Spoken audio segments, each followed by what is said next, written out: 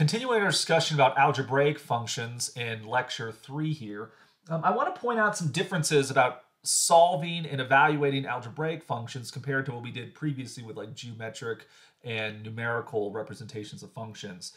For an algebraic function, evaluations, it's generally a simple task of arithmetic. We saw this in the, in the previous video.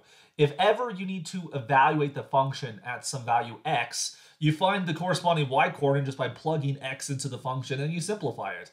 And so this makes, for example, finding y-coordinates, y-intercepts, specifically super easy. To find a y-intercept, you just have to evaluate f of 0, which again becomes a task of arithmetic, usually worst case scenario right there.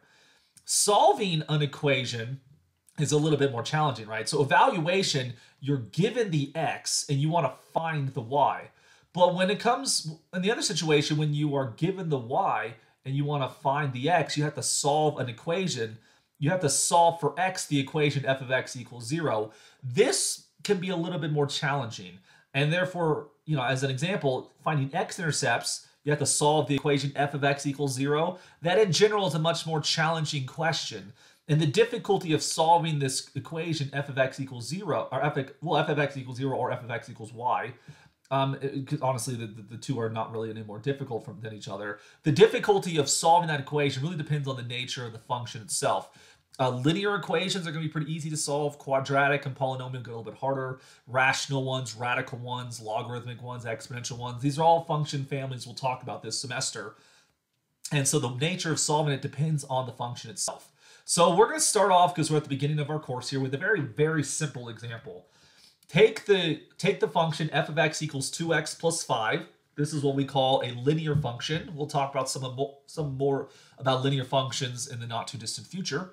Um, so let's show how one evaluates and one solves a function uh, that's linear, right?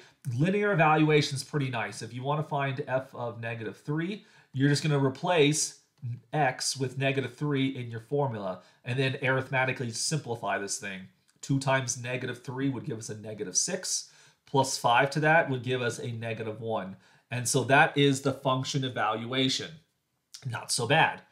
Uh, now, if we want to solve said equation, right? So solve f of x equals negative 3. So what we're trying to figure out right now is what x coordinate will produce the y coordinate negative 3.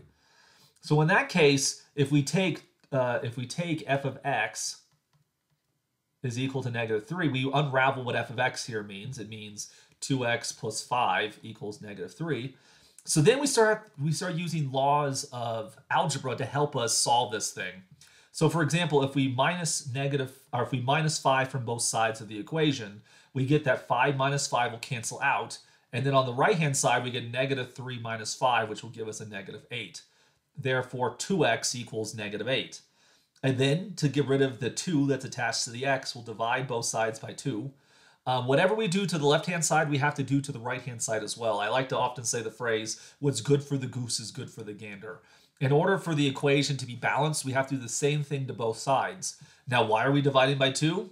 Well, because division by 2 is the inverse operation to multiplying by 2. And so that'll help us solve the equation just by undoing one operation on the left-hand side step by step by step. We then end up with x equals negative 4 over 2, which simplifies to be x equals negative 4. And so this would be the solution to the equation for which you can check said solution by plugging it back into the equation. Notice if you evaluate at negative 4 the function, you'll get 2 times negative 4 plus 5, uh, which is going to be negative 8 plus 5. Negative 8 plus 5 is equal to negative 3, thus verifies that we have the correct solution. And so when it comes to evaluating and solving for functions, in this context, an algebraic function, that's what one does. To evaluate, you plug in the x and simplify. When it comes to finding x given the y, you're going to have to solve some algebraic equation, which will depend on the function itself. This linear equation we did because it's fairly simple, uh, but as this course progresses, our equations might get more challenging, more challenging, more challenging, but never too challenging for us because we'll take incremental steps uh, before we just dump into the deep end of the pool there.